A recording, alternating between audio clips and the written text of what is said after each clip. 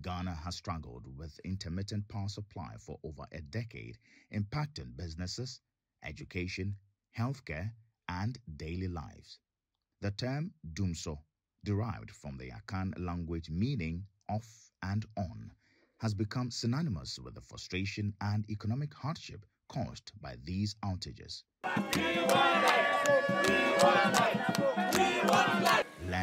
Actress Yvonne Nelson, the coalition of civil society groups, entertainers, and business owners protested to pressure the government into finding a lasting solution to the heartbreaking power crisis. I feel this government and the leaders now are arrogant. They need to be transparent. We need to know what exactly is going on. And we're hoping that this will serve as some pressure for the government to, you know, bring our lights back on. Light is no more luxury. It's a necessity. We don't even care how much taxes we put on it. We want the light period. At the Tetteh Quarshie roundabout, the protesters blocked the main Medina road at the Tetteh Quarshie interchange, where not a single light was functional, bringing vehicular movement to a standstill.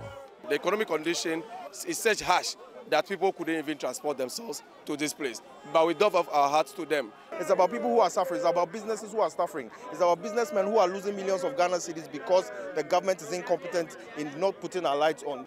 The protesters' message to the government is simple. Restore the power supply to normalcy, provide a clear timetable, and fix the street lights.